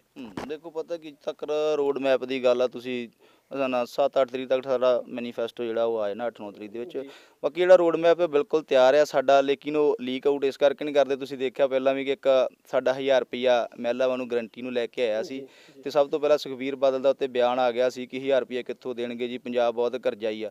ਫਿਰ ਉਹਦਾ ਜਿਹੜਾ ਅਸੀਂ ਮਤਲਬ ਰੋਡ ਮੈਪ ਤਿਆਰ ਕੀਤਾ ਸੀ ਕਿ ਉਹ ਪੈਸਾ ਕਿੱਥੋਂ ਆਉਣਾ ਹੈ ਸਾਡੇ ਅਰਵਿੰਦ ਕੇਜਰੀਵਾਲ ਜੀ ਹੋਣਾ ਸਰਦਾਰ ਭਗਵੰਤ ਸਿੰਘ ਮਾਨ ਜੀ ਹੋਣਾ ਦੱਸਦਾ ਸੀ ਕਿ ਉਹ ਰੇਤ ਮਾਫੀਆ ਚ ਆਉਣਾ ਜਿਹੜਾ 20000 ਕਰੋੜ ਦਾ ਸਾਡਾ ਘੁਟਾਲਾ ਹੋ ਰਿਹਾ ਪਰ ਜਿਹੜੇ ਭੈਣਾਂ ਦੇ ਖਾਤੇ 'ਚ ਪੈਸੇ ਜਾਣੇ ਸਿਰਫ 8000 ਕਰੋੜ ਰੁਪਈਆ ਸੀ। ਤੇ ਅਗਲੇ ਦਿਨ ਸੁਖਬੀਰ ਨੇ ਬਿਆਨ ਦਿੱਤਾ ਜੀ ਕਹਿੰਦਾ ਕੋਈ ਨਹੀਂ ਹੁਣ ਚੱਕ ਦੋ ਫੱਟੇ ਆਪਾਂ ਵੀ 2000 ਦੇ ਦਾਂਗੇ ਆਪਾਂ ਨੂੰ ਪਤਾ ਲੱਗ ਗਿਆ ਕਿ ਪੈਸਾ ਇੱਥੋਂ ਆਉਣਾ। ਸੋ ਇਸ ਕਰਕੇ ਰੋਡ ਮੈਪ ਸਾਡਾ ਕੱਲੇ ਕੱਲੇ ਜਿਹੜੀ ਅਸੀਂ ਗਰੰਟੀ ਦਿੱਤੀ ਉੱਤੇ ਬਿਲਕੁਲ ਤਿਆਰ ਆ। ਤੁਸੀਂ 2022 ਚ ਸਰਕਾਰ ਵਾਲਿਆਂ ਦਾ 10 ਮਾਰਚ ਨੂੰ ਸਰਕਾਰ ਬਣ ਜਾਣੀ ਔਰ ਮਾਰਚ ਦੇ ਸਹੁੰ ਚੁੱਕਣ ਤੋਂ ਬਾਅਦ ਹੀ ਦੋ ਦਿਨਾਂ ਬਾਅਦ ਤੁਸੀਂ ਦੇਖੋ ਰੋਡ ਮੈਪ ਜਿੱਦਾਂ ਵੀ ਲੀਕੇ ਗਏ ਨੇ ਤਿਆਰ ਹੋਣੇ ਨਾਲ ਦੇ ਨਾਲ ਹੀ ਕੰਮ ਸ਼ੁਰੂ ਹੋ ਜਾਣਗੇ ਇਹਨਾਂ ਨੂੰ ਇਹ ਨਹੀਂ ਕਿ ਮਗਰਲੇ 2 ਮਹੀਨਿਆਂ ਦਾ ਆਣ ਕੇ ਅਸੀਂ ਕੰਮ ਕਰਾਂਗੇ ਇਦਾਂ ਨਹੀਂ ਹੋਊਗਾ। ਤੁਸੀਂ ਹੈਲਥ ਦੀ ਗੱਲ ਕੀਤੀ, ਤੁਸੀਂ ਕਹਿਤਾ ਰੋਡ ਮੈਪ ਤਿਆਰ ਹੈ। ਅਸੀਂ ਜਦੋਂ ਤੁਹਾਡੇ ਉਮੀਦਵਾਰਾਂ ਦੀ ਲਿਸਟ ਦੇਖਦੇ ਹਾਂ, ਉਹਦੇ ਵਿੱਚ ਬਹੁ ਗਿਣਤੀ ਉਮੀਦਵਾਰ ਐਵੇਂ ਦੇ ਵੀ ਨੇ, ਜਿਹੜੇ ਖੁਦ ਡਾਕਟਰ ਨੇ ਮੈਡੀਕਲ ਲਾਈਨ ਦੇ ਨਾਲ ਸੰਬੰਧਿਤ ਨੇ, ਆਪਣੀ ਪ੍ਰਾਈਵੇਟ ਜਿਹੜੇ ਨਿੱਜੀ ਹਸਪੀਟਲ ਵੀ ਚਲਾ ਰਹੇ ਨੇ। ਕੀ ਲੱਗਦਾ ਨਹੀਂ ਪਿਆ ਕਿ ਉੱਥੇ ਉਹ ਜਿਹੜਾ ਇਸ਼ੂ ਕਿਤੇ ਨਾ ਕਿਤੇ ਮੁਸ਼ਕਲ ਖੜੀ ਕਰ ਸਕਦਾ ਹੈ? ਨਹੀਂ, ਦੇਖੋ, ਇਹਦੇ ਵਿੱਚ ਇਸ਼ੂ ਕੋਈ ਨਹੀਂ ਚਾਹ ਹੁਣ ਅਸੀਂ ਮੁਹ- ਪਿੰਡ ਦੇ ਵਿੱਚ ਮੁਹੱਲਾ ਕਲੀਨਿਕ ਦੀ ਗੱਲ ਕਰ ਰਹੇ ਨੇ। ਉੱਥੇ ਸਾਡੇ ਵੀਰ ਡਾਕਟਰ ਵੀ ਹੈਗੇ ਨੇ ਜੀ। ਜਿਹੜੇ ਅ, ਦੁਕਾਨਾਂ ਦੇ ਉੱਪਰ ਨੇ ਜੀ। ਪੜ੍ਹੇ ਲਿਖੇ ਨੇ ਡਿਗਰੀਆਂ ਕੋਲ ਨੇ ਉਹੀ ਆਪਾਂ ਮੁਹੱਲੇ ਕਲੀਨਿਕ ਦੇ ਵਿੱਚ ਸੈੱਟ ਕਰਾਂਗੇ ਜੀ ਸਾਰੇ। ਜੀ। ਹਾਂ ਬਿਲਕੁਲ ਬਿਲਕੁਲ ਕੋਈ ਇਹੋ ਜਿਹਾ ਕੋਈ ਨਹੀਂ ਇਸ਼ੂ ਨਾ ਹੈਗਾ ਕਿਉਂਕਿ ਇਹਨਾਂ ਨੂੰ ਲੈ ਕੇ ਦੇਖੋ ਇੱਕੋ ਇੱਕ ਆਮ ਆਦਮੀ ਪਾਰਟੀ ਆ ਕਿ ਜਿੰਨੇ ਜਿਹੜਾ ਜਿੰਨੇ ਵੀ ਸਾਡੇ ਵਾਅਦੇ ਆ ਜਾਂ ਰੋਡ ਮੈਪ ਤਿਆਰ ਕੀਤਾ ਉਹ ਜਨਤਾ ਦੇ ਵਿੱਚੋਂ ਕੀਤਾ। ਇਹਨੇ ਨਾ ਵਾਂਗੂ ਨਹੀਂ ਕਿ ਆਪਾਂ ਡਰਾਈ ਰੂਮ 'ਚ ਬਹਿ ਕੇ ਮੈਨੀਫੈਸਟੋ ਤਿਆਰ ਕਰਤਾ ਐਵੇਂ ਨਹੀਂ ਆ। ਅੱਛਾ ਇੱਕ ਗੱਲ ਹੋਰ ਹੈ ਆਪਾਂ ਗੱਲ ਕਰਦੇ ਹਾਂ ਚਲੋ ਹੈਲਥ ਦੀ ਗੱਲ ਵੀ ਤੁਸੀਂ ਕਰ ਦਿੱਤੀ ਐਜੂਕੇਸ਼ਨ ਦੀ ਗੱਲ ਵੀ ਆਪਾਂ ਗੱਲ ਕਰ ਲਿੱਤੀ। ਹੁਣ ਆਪਾਂ ਗੱਲ ਕਰਦੇ ਹਾਂ ਨਸ਼ਿਆਂ ਦੇ ਉੱਪਰ ਆਣ ਕੇ। ਨਸ਼ਿਆਂ ਦੀ ਆਪਾਂ ਦੇਖੀਏ ਕਿ ਜਿਹੜੀਆਂ ਮੁਸ਼ਕਲਾਂ ਨੇ ਵੱਧਦੀਆਂ ਜਾ ਰਹੀਆਂ ਨੇ, ਚਾਹੇ ਕਿ ਕੈਪਟਨ ਅਮਰਿੰਦਰ ਸਿੰਘ ਨੇ ਕਿਹਾ ਸੀ ਕਿ ਮੈਂ 4 ਹਫ਼ਤਿਆਂ ਦੇ ਵਿੱਚ ਲੱਕ ਤੋੜ ਦਾਂਗਾ, ਪਰ ਅਸੀਂ ਜਦੋਂ ਵਿਚਰਦੇ ਹਾਂ ਲੋਕਾਂ ਦੇ ਵਿੱਚ ਐਜ ਏ ਮੀਡੀਆ ਪਰਸਨ ਲੋਕਾਂ ਦਾ ਇਹੀ ਕਹਿਣਾ ਕਿ ਨਸ਼ੇ ਜਿਹੜੇ ਵਧੇ ਆ, ਘਟੇ ਨਹੀਂ ਹੈ ਤਾਂ ਕੀ ਆਮ ਆਦਮੀ ਪਾਰਟੀ ਜਿਹੜਾ ਵਾ ਨਸ਼ਿਆਂ ਨੂੰ ਰੋਕਥਾਮ ਲਈ ਕੀ ਕਰੇਗੀ? ਕਿਵੇਂ ਕੀ ਉਹੀ ਜਿਹੜੀ ਬਦਲਾਖੋਰੀ ਦੀ ਸਿਆਸਤ ਵਾਲਾ ਇੱਥੇ ਮਤਲਬ ਆਏਗਾ ਕਿ ਕਿਵੇਂ ਤੁਹਾਡੇ ਕੋਲ ਹੈਗਾ ਕੋਈ ਇਹਦੇ ਬਾਰੇ? ਨਹੀਂ ਮੈਂ ਤੁਹਾਨੂੰ ਪਹਿਲਾਂ ਵੀ ਇਹੀ ਬੇਨਤੀ ਕਰਕੇ ਹਟਿਆ ਕਿ ਰੋਡ ਮੈਪ ਸਾਡੇ ਕੋਲ ਤਿਆਰ ਆ। ਸਿਰਫ ਤੇ ਸਿਰਫ ਤੁਸੀਂ 10 ਮਾਰਚ ਨੂੰ ਰਿਜ਼ਲਟ ਆ ਲੈਣ ਦਿਓ ਜਿਹੜੇ ਸਾਡੇ ਵੀਰ ਨਸ਼ਿਆਂ ਤੇ ਲੱਗੇ ਆ। ਕੋਈ ਏਡੀ ਵੱਡੀ ਗੱਲ ਨਹੀਂ ਕਿਉਂਕਿ ਦੇਖੋ ਇਹ ਨਸ਼ਾ ਛਡਾਊ ਕੇਂਦਰ ਇਹਨਾਂ ਨੇ ਵੀ ਖੋਲੇ ਸੀ। ਪਰ ਪ੍ਰੋਬਲਮ ਇੱਥੇ ਆਉਂਦੀ ਹੈ ਕਿ ਜਿੰਨਾ ਚਿਰ ਆਪਾਂ ਵੇਚਣ ਵਾਲੇ ਨਹੀਂ ਫੜਾਂਗੇ ਜਿੰਨਾ ਚਿਰ ਉਹਨਾਂ ਨੂੰ ਪਿਆਰ ਨਾਲ ਸਮਝਾਵਾਂਗੇ ਨਹੀਂ, ਉਹਨਾਂ ਨੂੰ ਰੁਜ਼ਗਾਰ ਦੇਣਾ ਜਾਂ ਉਹਨਾਂ ਨੂੰ ਪਹਿਲਾਂ ਬਿਠਾ ਕੇ ਪੁੱਛਿਆ ਜਾਊਗਾ ਕਿ ਜਿਹੜੇ ਨਸ਼ੇ ਵੇਚਦੇ ਨੇ ਹਰ ਪਿੰਡੋਂ ਪਿੰਡੀ ਲਿਸਟ ਬਣੀ ਪਈ ਹੈ ਕੋਈ ਨਹੀਂ ਜਿਹੜੇ ਵੇਚਦੇ ਆ। ਪੁੱਛਿਆ ਜਾਊਗਾ ਕਿ ਕੀ ਪ੍ਰੋਬਲਮ ਕਿੱਥੇ ਆ ਤੁਸੀਂ ਕਿਉਂ ਵੇਚਦੇ ਜੋ ਚਾਹੇ ਪ੍ਰੋਬਲਮ ਪੈਸੇ ਦੀ ਹੋਊਗੀ ਜਾਂ ਬੇਰੁਜ਼ਗਾਰੀ ਦੀ ਆ ਜਾਂ ਪੜ੍ਹੇ ਲਿਖੇ ਕਰ ਰਹੇ ਨੇ ਪਹਿਲਾਂ ਤੇ ਰੁਜ਼ਗਾਰ ਮੁਹੱਈਆ ਕਰਾਇਆ ਜਾਊਗਾ ਉਹਨਾਂ ਨੂੰ ਇਸ ਚੀਜ਼ ਤੋਂ ਹਟਾਇਆ ਜਾਊਗਾ। ਕਿਉਂਕਿ ਫਿਰ ਔਰ ਜਿਹੜੇ ਵੀਰ ਨਸ਼ੇ ਕਰ ਰਹੇ ਨੇ ਹਰੇਕ ਸੈਂਟਰ ਖੋਲਾਂਗੇ ਜਾਂ ਜਿਸ ਤਰ੍ਹਾਂ ਵੀ ਉਹਨਾਂ ਰੋਡ ਮੈਪ ਤਿਆਰ ਕੀਤਾ ਸਾਡੀ ਆਮ ਆਦਮੀ ਪਾਰਟੀ ਨੇ ਉਹਦੇ ਮੁਤਾਬਕ ਅਸੀਂ ਜਿਹੜੇ ਆ ਉਹ ਵੀਰਾਂ ਦੇ ਜਿਹੜੇ ਨਸ਼ੇ ਛਡਾਵਾਂਗੇ। ਔਰ ਜਦੋਂ ਨਸ਼ਾ ਛੱਡ ਕੇ ਹੁਣ ਕਈ ਵੀਰ ਤੁਸੀਂ ਦੇਖੇ ਵੀ ਹੈਗੇ ਨਸ਼ਾ ਛੱਡ ਵੀ ਦਿੰਦੇ ਆਣ ਕੇ 2-2 ਮਹੀਨੇ ਮਤਲਬ ਨਸ਼ਾ ਕਰਦੇ ਵੀ ਨਹੀਂ 15 ਵਾਰ ਲੇਕਿਨ ਫਿਰ ਜਦੋਂ ਮਤਲਬ ਵੇਚਣ ਵਾਲਾ ਫੇਰ ਸਾਹਮਣੇ ਆ ਜਾਂਦਾ ਹੈ ਜਾਂ ਕੋਈ ਸੁਸਾਇਟੀ ਇਦਾਂ ਦੀ ਬਣ ਜਾਂਦੀ ਆ ਕਿ ਆਪਾਂ ਇਹ ਨਹੀਂ ਕਿ ਇੱਕ ਦਾ ਨਸ਼ਾ ਛਡਾ ਦਾਂਗੇ, ਦੂਜੇ ਲਾਗੇ ਚਾਰ ਪੀਂਦੇ ਰਹਿਣਗੇ ਜਿੰਨਾ ਚਿਰ ਚਾਰਾਂ ਦਾ ਨਹੀਂ ਛਡਾਵਾਂਗੇ, ਵੇਚਣਾ ਹਟਾਵਾਂਗੇ ਉਹਨਾਂ ਚਿਰ ਖਤਮ ਨਹੀਂ ਹੋਊਗਾ। ਸੋ ਇਹ ਰੋਡ ਮੈਪ ਬਿਲਕੁਲ ਤਿਆਰ ਹੈ ਤੁਸੀਂ 10 ਮਾਰਚ ਨੂੰ ਰਿਜ਼ਲਟ ਆ ਲੈਂਦਾ ਤੁਸੀਂ ਦੇਖਿਓ ਕਿਦਾਂ ਜੀ, ਅਸੀਂ ਆਪਾਂ ਜਿਹੜੇ ਇਲਾਕੇ ਦੇ ਵਿੱਚ ਬੈਠੇ ਹਾਂ ਬਾਰਡਰ ਇੱਥੋਂ ਕੋਈ ਬਹੁਤਾ ਦੂਰ ਨਹੀਂ ਹੈ। ਤੇ ਆਪਾਂ ਦੇਖੀਏ ਕਿ ਬਾਰਡਰ ਦੇ ਲੋਕਾਂ ਨੂੰ ਸਭ ਤੋਂ ਜ਼ਿਆਦੀਆਂ ਮੁਸ਼ਕਲਾਂ ਦਾ ਸਾਹਮਣਾ ਕਰਨਾ ਪੈਂਦਾ ਹੈ। ਸਰਹੱਦ ਦੇ ਉੱਪਰ ਤਣਾਅ ਕਿਸੇ ਵਜ੍ਹਾ ਦੇ ਕਰਕੇ ਵੀ ਹੋਵੇ, ਘਰੋਂ ਬੇਘਰ ਇਹਨਾਂ ਲੋਕਾਂ ਨੂੰ ਹੋਣਾ ਪੈਂਦਾ ਵੈ। ਤਾਂ ਕਿ ਕਿਉਂਕਿ ਤੁਸੀਂ ਚਲੋ ਇੱਥੋਂ ਚੁਣੇ ਜਾਂਦੇ ਹੋ, ਕਿਉਂਕਿ ਮੁੜ ਕੇ ਸਾਰੀ ਜ਼ਿੰਮੇਵਾਰੀ ਤੁਹਾਡੀ ਆ ਜਾਣੀ ਹੈ, ਇਸ ਹਲਕੇ ਦੀ ਸਰਕਾਰ ਕੋਲ ਆਵਾਜ਼ ਪਹੁੰਚਾਉਣਾ ਤੁਹਾਡਾ ਕੰਮ ਹੈ। ਤੁਸੀਂ ਸੋਚਿਆ ਕਿ ਚਲੋ ਮੈਂ ਆਪਣੇ ਬਾਰਡਰ ਦੇ ਇਲਾਕੇ ਦੀਆਂ ਕੁਝ ਮੁਸ਼ਕਲਾਂ ਹੱਲ ਕਰਾਂ, ਜਿਵੇਂ ਮੈਂ ਗੱਲ ਕਰਾਂ ਕਿ ਜਿਵੇਂ ਜ਼ਮੀਨ ਦਾ ਮਸਲਾ ਆ ਜਾਂਦਾ, ਉੱਥੇ ਪ੍ਰੋਪਰ ਬਿਜਲੀ ਦੀ ਨਹੀਂ ਸਮੱਸਿਆ ਵੀ ਹੈਗੀ ਹੈ, ਉੱਥੇ ਜੇ ਕਿਤੇ ਵਾਰਡ ਲੱਗੀ ਹੈ, ਉੱਥੇ ਆਉਣ ਜਾਣ ਦੀ ਵੀ ਸਮੱਸਿਆ ਹੈਗੀ ਹੈ। ਤੁਹਾਡੇ ਮਨ ਦੇ ਵਿੱਚ ਹੈ ਤਿਆਰ ਹੋ ਪ੍ਰਪੇਅਰ ਹੋ ਇਹਦੇ ਲਈ? ਹਾਂ ਬਿਲਕੁਲ ਬਿਲਕੁਲ ਤੇਰਾ। ਮੈਂ ਤਾਂ ਹੁਣ ਵੀ ਜਦੋਂ ਬਾਰਡਰ ਬੈਲਟ ਦੇ ਵਿੱਚ ਜਾਣਾ ਜਿੱਦਾਂ ਹੁਣ ਮੀਟਿੰਗ ਕਰਕੇ ਹਟੇ ਆ ਉੱਥੇ ਵੀਰਾਂ ਕੋ ਸਾਰਿਆਂ ਕੋ ਸੁਝਾਅ ਲਈਦੇ ਆ ਕਿ ਆਪਾਂ ਨੂੰ ਕਿਹੜੀ ਮੁਸ਼ਕਲ ਹੈ ਹਨਾ? ਔਰ ਮੁਸ਼ਕਲ ਵੀ ਦੱਸਦੇ ਨਾਲ ਨਾਲ ਹੱਲ ਵੀ ਦੱਸ ਦਿੰਦੇ ਕਿ ਆਪਾਂ ਇਦਾਂ ਕਰਾਂਗੇ। ਔਰ ਇਹ ਨਹੀਂ ਹੈ ਕਿ ਆਪਾਂ ਮੁੱਦੇ ਚੁੱਕਾਣੇ ਆ। ਚੁੱਕਣੇ ਇੱਕ ਅਲੱਗ ਗੱਲ ਹੈ ਆਪਾਂ ਤੇ ਹੱਲ ਕਰਨੇ ਆ ਜੀ। ਮਤਲਬ ਆਪਾਂ ਪਹਿਲਾਂ ਕਹਿੰਦੇ ਆ ਕਿ ਸਿਆਸਤ ਕਰਨੀ ਹੈ ਸਿਆਸਤ ਬਦਲਣਾ ਹੈ ਇਹੀ ਚੀਜ਼ਾਂ ਇਹਨਾਂ ਨੂੰ ਬਦਲ ਕੇ ਦਿਖਾਣੀਆਂ ਜੀ। ਜੀ। ਅੱਛਾ ਇੱਕ ਗੱਲ ਹੋਰ ਹੈ ਅਸੀਂ ਚਲੋ ਰਵਾਇਤੀ ਪਾਰਟੀਆਂ ਦੀ ਜਦੋਂ ਗੱਲ ਕਰਦੇ ਹਾਂ ਚਾਹੇ ਸ਼੍ਰੋਮਣੀ ਅਕਾਲੀ ਦਲ ਦੀ ਗੱਲ ਕਰ ਲਈਏ ਕਾਂਗਰਸ ਦੀ ਗੱਲ ਕਰ ਲਈਏ ਅਜੇ ਤੱਕ ਜਿਹੜੇ ਵਿਕਾਸ ਦੇ ਪੈਮਾਨੇ ਨੇ ਉਹ ਸਿਰਫ ਗਲੀਆਂ ਨਾਲੀਆਂ ਤੱਕ ਹੀ ਸੀਮਤ ਆ। ਕਿ ਸਿਰਫ ਗਲੀਆਂ ਬਣਾਤੀਆਂ ਇੰਟਰਲੋਕ ਟਾਈਲਾਂ ਲਗਾ ਦਿੱਤੀਆਂ ਉਹ ਇਸੇ ਨੂੰ ਵਿਕਾਸ ਕਹਿੰਦੇ ਪਏ ਨੇ। ਤੁਸੀਂ ਐਗਰੀ ਹੋ ਇਸ ਗੱਲ ਦੇ ਨਾਲ ਕਿ ਇਹ ਵਿਕਾਸ ਦਾ ਪੈਮਾਨਾ ਹੈ ਕਿ ਜਾਂ ਵਿਕਾਸ ਦਾ ਜੇ ਬੜੀ ਦੂਰ ਹੈ ਅਸਲ ਦੇ ਵਿੱਚ? ਨਹੀਂ ਇਹਨੂੰ ਵਿਕਾਸ ਨਹੀਂ ਹੈ ਜੀ ਇਹ ਤੇ ਸਾਡੇ ਪੰਜਾਬ ਦੀ ਸਭ ਤੋਂ ਵੱਡੀ ਕਰਪਸ਼ਨ ਆ ਗਲੀਆਂ ਨਾਲੀਆਂ ਨੂੰ ਲੈ ਕੇ ਕਿਉਂਕਿ ਪਹਿਲਾਂ ਅਕਾਲੀ ਦਲ ਆ ਗਿਆ ਸੀ ਉਹਨੇ ਟੈਲਾਂ ਦੂਜੀਆਂ ਲਾਤੀਆਂ ਸੀ ਇੱਟਾਂ ਲਾਤੀਆਂ ਸੀ ਹਨਾ ਜੀ। ਉਹ ਸਰਕਾਰੀਆ ਸਾਹਿਬ ਆ ਗਏ ਬਾਅਦ ਵਿੱਚ, ਉਹਨਾਂ ਨੇ ਪੁੱਟ ਕੇ ਇੱਟਾਂ ਪੁੱਟ ਕੇ ਤੇ ਟਾਈਲਾਂ ਜਾਂ ਲਾਤੀਆਂ, ਹੁਣ ਜਿੱਥੇ ਟਾਈਲਾਂ ਆਹ ਲੋਕ ਟਾਈਲਾਂ ਲੱਗੀਆਂ ਨੇ, ਉਹ ਪੁੱਟ ਕੇ ਆਪਾਂ ਫਰਸ਼ ਪਾਈ ਜਾਂਦੇ ਆ ਸੋ ਇਹ ਵਿਕਾਸ ਨਹੀਂ ਆ, ਕਿਉਂਕਿ ਇਹੋ ਜਿਹੇ ਮੇਰੇ ਕੋਲ ਰਾਇਸਾਂਸੀ ਹਲਕੇ ਦੇ ਪਿੰਡ ਹੈਗੇ ਨੇ। ਜਿਹੜੇ 2-2 ਫੁੱਟ ਇਦਾਂ ਹੀ ਕਰਦਿਆਂ ਕਰਦਿਆਂ ਅੱਜ 4 ਫੁੱਟ ਉਹਨਾਂ ਦੇ ਘਰ ਨੀਵੇਂ ਹੋ ਗਏ ਨੇ। ਔਰ ਉਹ ਮੀਂਹ ਅਜੇ ਅੰਮ੍ਰਿਤਸਰ ਦੇ ਆਸ-ਪਾਸ ਹੁੰਦਾ, ਕਿਤੇ ਉਹਨਾਂ ਨੇ ਪਹਿਲਾਂ ਵਿਚਾਰਿਆਂ ਨੇ ਥਾਲੀ ਜਾਂ ਬਾਲਟੀਆਂ ਫੜੀਆਂ ਹੁੰਦੀਆਂ ਕਿ ਜਿਹੜਾ ਗਲੀ ਦਾ ਪਾਣੀ ਸਾਡੇ ਘਰ ਆਉਣਾ ਹੈ ਤੇ ਅਸੀਂ ਬਾਹਰ ਝੱਟਣਾ ਆ ਕਿਉਂਕਿ ਇਹ ਕਰਪਸ਼ਨ ਹੈ ਜੀ ਇਹਨਾਂ ਦੇ 5 ਸਾਲ ਬਾਅਦ ਪੈਸਾ ਖਾਣਾ ਹੁੰਦਾ ਪਰ ਪਰ ਉਹ ਗਰੀਬ 5 ਸਾਲ ਬਾਅਦ ਕਿੱਥੋਂ ਛੱਤ ਬਦਲੂਗਾ ਜੀ ਉਹ। ਸੋ ਇਸ ਕਰਕੇ ਇਹ ਮੁੱਦਾ ਨਹੀਂ ਹੈ ਜੀ ਸਾਡਾ। ਅੱਛਾ ਇੱਕ ਗੱਲ ਹੋਰ ਹੈ ਤੁਸੀਂ ਚਲੋ ਗੱਲ ਕਰ ਦਿੱਤੀ ਕਿ ਇਹ ਗਲੀਆਂ ਨਾਲੀਆਂ ਮੁੱਦੇ ਨਹੀਂ ਹੈ ਕਿਉਂਕਿ ਇਹ ਬੇਸਿਕ ਨੈਸੈਸਿਟੀ ਆ ਤੇ ਕਿਉਂਕਿ ਇਹ ਸਵਾਲ ਤੁਹਾਨੂੰ ਤਾਂ ਕੀਤਾ ਕਿਉਂਕਿ ਅਸੀਂ ਦੇਖਦੇ ਪਏ ਕਿ ਗਲੀਆਂ ਨਾਲੀਆਂ ਦੇ ਉੱਪਰ ਸਰਪੰਚ ਵੀ ਚੋਣਾਂ ਲੜੀ ਜਾਂਦੇ ਜਿੱਤੀ ਜਾਂਦੇ ਆ ਐਮਐਲਏ ਵੀ ਐਮਪੀ ਵੀ ਕੋਈ ਸੜਕ ਗਲੀ ਬਣਾ ਕੇ ਤੇ ਚੋਣਾਂ ਜਿੱਤ ਕੇ ਤੇ ਮੁੜ ਕੇ ਹੋ ਜਾਂਦੇ ਹੋ ਜਾਂਦੇ ਆ। ਬੜੀਆਂ ਸਮੱਸਿਆਵਾਂ ਨੇ এনवायरमेंट ਦੀ ਸਮੱਸਿਆ ਵੈ। ਤੁਸੀਂ ਖੁਦ ਪੜ੍ਹੇ ਲਿਖੇ ਹੋ, ਤਾਂ এনवायरमेंट ਦਾ ਇਸ਼ੂ ਆਪਾਂ ਦੇਖਦੇ ਆ ਅਜੇ ਤੱਕ ਆਪਣੇ ਕੋਲ ਨਿਆਏ ਨਿਆਂਪਾਲਕਾ ਦੇ ਪੱਖ ਦੇ ਵਿੱਚ ਦੇਖੀਏ, ਉੱਥੇ ਜੱਜਿਸ ਦੀ ਆਪਣੇ ਕੋਲ ਕਮੀ ਹੈ। এনवायरमेंट ਦੇ ਉੱਪਰ ਆਪਾਂ ਦੇਖੀਏ, ਪਾਣੀ ਜਿਹੜਾ ਪੰਜਾਬ ਦਾ ਵੈ, ਉਹ ਨੀਵਾ ਹੁੰਦਾ ਜਾ ਰਿਹਾ ਵੈ। ਤਾਂ ਕੀ ਇਹਦੇ ਉੱਪਰ ਕੋਈ ਸੋਚਿਆ ਆਪਣੀ ਪਾਰਟੀ ਦੇ ਕੋਲ ਹੈ ਇਹਦੇ ਵਿਚਾਰ? ਬਿਲਕੁਲ ਬਿਲਕੁਲ। ਸਾਰੇ ਪਾਣੀ ਦਾ ਮਸਲਾ ਆ, ਸਾਡਾ ਬਿਜਲੀ ਦਾ ਮਸਲਾ, ਕੋਈ ਵੀ ਜਿੰਨੇ ਮਸਲੇ ਨੇ ਸਾਡੇ। ਪਰ ਪਹਿਲਾਂ ਹੀ ਕਹਿ ਰਿਹਾ ਕਿ ਸਾਰ ਹਰੇਕ ਹਰੇਕ ਸਮੱਸਿਆ ਨਾਲ ਜਿੰਨੀਆਂ ਵੀ ਤੁਹਾਨੂੰ ਸਾਰੇ ਪੰਜਾਬ ਦੇ ਵਿੱਚ ਘੁੰਮ ਕੇ ਰੋਡ ਮੈਪ ਤਿਆਰ ਕੀਤਾ, ਜਿੰਨੀਆਂ ਵੀ ਸਮੱਸਿਆ ਆ ਗਈਆਂ, ਉਹਦਾ ਹੱਲ ਆ। ਸਿਰਫ ਤੇ ਸਿਰਫ ਤੁਸੀਂ 10 ਮਾਰਚ ਦਾ ਇੰਤਜ਼ਾਰ ਕਰੋ ਇੱਕ ਵਾਰ। 10 ਮਾਰਚ ਨੂੰ ਸਾਡੀ ਮਨ ਸਰਕਾਰ ਬਣ ਲੈਣ ਦਿਓ। ਤੁਸੀਂ ਦੇਖੋ ਹਰੇਕ ਚੀਜ਼ ਦਾ ਕੱਲੀ ਕੱਲੀ ਚੀਜ਼ ਦਾ ਜਿਹੜਾ ਆਪਾਂ ਮਸਲਾ ਹੱਲ ਕਰਾਂਗੇ। ਅੱਛਾ ਕਾਂਗਰਸ ਦੀ ਜਦੋਂ ਅਸੀਂ ਉਮੀਦਵਾਰਾਂ ਨਾਲ ਗੱਲ ਕਰੀਏ ਜਾਂ ਕਾਂਗਰਸ ਵਾਲਿਆਂ ਨਾਲ ਗੱਲ ਕਰੀਏ ਤਾਂ ਉਹ ਕਹਿੰਦੇ ਕਿ ਜਿਹੜੇ ਅਰਵਿੰਦ ਕੇਜਰੀਵਾਲ ਦੀ ਗੱਲ ਕ- ਨਾਮ ਲੈ ਲਓ ਜਾਂ ਉਹ ਭਗਵੰਤ ਮਾਨ ਸਾਹਿਬ ਦਾ ਨਾਮ ਲੈ ਲਓ ਇੱਕੋ ਹੀ ਗੱਲ ਕਹਿੰਦੇ ਕਹਿੰਦੇ ਜਿਹੜਾ ਮਾਈਨਿੰਗ ਦਾ ਇਸ਼ੂ ਬਣਾਇਆ ਕਿਉਂਕਿ ਮਾਈਨਿੰਗ ਇਸ ਖੇਤਰ 'ਚ ਵੀ ਹੈਗੀ ਆ ਤੇ ਮੰਤਰੀ ਵੀ ਜਿਹੜੇ ਇੱਥੋਂ ਦੇ ਮਾਈਨਿੰਗ ਦੇ ਜਿਹੜੇ ਆਪਾਂ ਕਹਿ ਲਈਏ ਰੈਵਨਿਊ ਅਫਸਰ ਰਹੇ ਨੇ 2 2.5 ਸਾਲ 3 ਸਾਲ ਤਾਂ ਉਹ ਕਹਿੰਦੇ ਜੀ ਇਹ ਇਸ਼ੂ ਇੰਨਾ ਵੱਡਾ ਹੈ ਹੀ ਨਹੀਂ ਹੈ ਐਵੇਂ ਇਹਨੂੰ ਹਵਾ ਦੇ ਰਿਹਾ ਮਤਲਬ ਕੁਝ ਨਹੀਂ ਹੈਗਾ ਇਹਦੇ ਵਿੱਚ। ਸਾਬਤ ਕਰ ਦੇਣ ਜੀ ਚਾਹੇ ਨਹੀਂ ਹੈਗਾ ਤੇ। ਉਹ ਤੇ ਦੇਖੋ ਚਰਨਜੀਤ ਸਿੰਘ ਚੰਨੀ ਸੀ ਮੁੱਖ ਮੰਤਰੀ। ਉਹਨਾਂ ਦੇ ਹਲਕੇ 'ਚੋਂ ਵੀ ਸਾਡੇ ਰਾਘਵ ਚੱਡਾ ਜੀ ਉਹਨਾਂ ਨੇ ਲਾਈਵ ਜਾ ਕੇ ਦਿਖਾਇਆ ਸੀ ਪ੍ਰੂਫ ਦਿਖਾਏ ਸੀ। ਸਾਡੇ ਵੀ ਇੱਥੇ ਇਹੀ ਹਾਲ ਹੈ ਜੀ। ਆ ਸਾਡੇ ਵਾਣਵਸਾਊ ਪਿੰਡ ਪੈਂਦਾ ਜੀ। 492 ਸੰਦ ਸੀ ਜਿਹੜੇ ਟਰੱਕ ਟਰਾਲੀਆਂ ਜਿਹੜੀਆਂ ਨਜਾਇਜ਼ ਉਹ ਖੱਡਾ ਚੱਲ ਰਿਹਾ ਸੀ ਮਾਈਨਿੰਗ ਚੱਲ ਰਹੀ ਸੀ ਇਹੀ ਸੁੱਖ ਸਰਕਾਰੀ ਦੀ ਜੀ। ਹੈਗੇ ਨੇ ਹੈਗੇ ਕਿਉਂ ਨਹੀਂ ਆ ਜੀ? ਚਾਹੇ ਇਹਨਾਂ ਨੂੰ ਲੱਗਦਾ ਤੇ ਪ੍ਰੂਫ ਦੇ ਦੇਣ ਸਾਨੂੰ ਕਿ ਨਹੀਂ ਹੈਗਾ। ਜੀ। ਤਾਂ ਇੱਕ ਜਿਹੜਾ ਹੋਰ ਹੈ, ਆਪਾਂ ਗੱਲ ਕਰਦੇ ਪਏ ਇੱਕ ਸਵਾਲ ਜਿਹੜਾ ਜਨਤਾ ਦਾ ਵਾ, ਕਿਉਂਕਿ ਅਸੀਂ ਜਦੋਂ ਲੋਕਾਂ ਦੇ ਵਿਊ ਲੈਂਦੇ ਆ ਹਲਕੇ ਦੇ ਵਿੱਚੋਂ ਜਾ ਕੇ, ਸਾਰੇ ਇੱਕ ਸਵਾਲ ਸਾਨੂੰ ਪੁੱਛਦੇ ਆ ਕਿ ਆਪਣੇ ਉਮੀਦਵਾਰਾਂ ਨੂੰ, ਮੰਤਰੀਆਂ ਨੂੰ ਪੁੱਛਿਓ ਭਾਈ ਕਿ ਸਾਰਾ ਕੁਝ ਚੱਲਦਾ ਪਿਆ। ਹੁਣ ਆਪਾਂ ਅੱਜ ਇੱਥੇ ਵੀ ਬੈਠੇ ਆ ਇੱਥੇ ਵੀ ਮਤਲਬ ਗੈਦਰਿੰਗ ਹੈਗੀ ਆ ਕਿ ਸਾਰਾ ਕੁਝ ਖੁੱਲਾ ਵਾ। ਵਿਦਿਅਕ ਅਦਾਰੇ ਖੁੱਲੇ ਨੇ, ਪਰ ਉਹਨਾਂ ਵਿੱਚ ਪੜ੍ਹਾਈ ਬੰਦ ਕੀਤੀ ਗਈ ਹੈ। ਕਿਉਂ ਮਤਲਬ ਕੀ ਲੱਗਦਾ ਪਿਆ ਤੁਹਾਡਾ ਵਿਚਾਰ ਕੀ ਹੈ ਕਿ ਇਹ ਜਾਣਬੁੱਝ ਕੇ ਕੀਤਾ ਜਾ ਰਿਹਾ ਕਿ ਕਿਤੇ ਸਰਕਾਰਾਂ ਦੀ ਚਾਲ ਹੈ ਕਿ ਜਿਹੜਾ ਅਨਪੜ੍ਹ ਰੱਖ ਦਿੱਤਾ ਜਾਵੇ ਅਗਲੀ ਪੀੜ੍ਹੀ ਨੂੰ? ਕਿਉਂਕਿ ਇਹ ਸਾਡੇ ਬੱਚੇ ਕੱਲ ਦਾ ਭਵਿੱਖ ਨੇ। ਕਿ ਜੇ ਸਾਰਾ ਕੁਝ ਖੁੱਲ ਸਕਦਾ ਵਾ ਸਭ ਕੁਝ ਚੱਲ ਸਕਦਾ ਵਾ ਵਿਦਿਅਕ ਅਦਾਰਿਆਂ ਵਿੱਚ ਪੜ੍ਹਾਈ ਕਿਉਂ ਨਹੀਂ ਸ਼ੁਰੂ ਹੋ ਸਕਦੀ? ਨਹੀਂ ਦੇਖੋ ਇਹ ਤਾਂ ਗੱਲ ਪੱਕੀ ਆ ਜੀ। ਇਹ ਤੇ ਬੱਚਿਆਂ ਨੂੰ ਅਨਪੜ੍ਹ ਰੱਖਣ ਵਾਸਤੇ ਹੀ ਜਿਹੜਾ ਲੇਬਰ ਦਾ ਕੰਮ ਕਰਾਉਣ ਵਾਸਤੇ ਹੀ ਕਹਿ ਰਹੇ ਨੇ ਮਤਲਬ ਜਿਹੜੇ ਸਾਡੇ ਸਕੂਲ ਬੰਦ ਆ। ਦੇਖੋ ਕੱਲ ਹਜ਼ਾਰ ਬੰਦੇ ਦੀ ਪਰਸੋਂ ਮੇਰੇ ਖਿਆਲ ਇਹਨਾਂ ਨੇ ਪਰਮਿਸ਼ਨ ਦਿੱਤੀ ਆਪਾਂ ਰੈਲੀਆਂ ਕਰ ਸਕਦੇ ਇਲੈਕਸ਼ਨ ਕਮਿਸ਼ਨ ਨੇ ਹਨਾ? ਦੇ ਸਕਦੇ ਆ ਬੱਸ ਅੱਡਿਆਂ ਤੇ ਉਦਾਂ ਹੀ ਭੀੜ ਆ। ਲੇਕਿਨ ਇਹ ਤੇ ਸਿਰਫ ਇੱਕ ਇਹਨਾਂ ਨੇ ਇਸ਼ੂ ਜਿਹਾ ਬਣਾਇਆ ਕਿ ਬੱਚਿਆਂ ਦੇ ਜਿਹੜੇ ਸਕੂਲ ਬੰਦ ਰਹਿਣ ਦਿਓ ਜੀ ਪਰ ਮੇਰੇ ਹਿਸਾਬ ਦੇ ਨਾਲ ਇਹ ਸਕੂਲ ਖੁੱਲਣੇ ਚਾਹੀਦੇ ਆ ਜੀ। ਕਿਉਂਕਿ ਅਸੀਂ ਜਦੋਂ ਬੱਚਿਆਂ ਦੇ ਮਾਪਿਓ ਨਾਲ ਗੱਲ ਕਰਦੇ ਨਾ ਕਿਉਂਕਿ ਬੱਚੇ ਸਾਰਿਆਂ ਨੇ ਹਰੇਕ ਜਗ੍ਹਾ ਤੋਂ ਪੜ੍ਹਨੇ ਨੇ ਉਹ ਕਹਿੰਦੇ ਆ ਕਿ ਇੱਕ ਕਿ ਸਾਰਾ ਕੁਝ ਅਸੀਂ ਇਹ ਗੱਲ ਨੋਟ ਕੀਤੀ ਹੈ ਸਾਨੂੰ ਕੋਈ ਹਸਪਤਾਲ ਚੱਜ ਦਾ ਨਜ਼ਰ ਨਹੀਂ ਆਇਆ ਇੱਥੇ।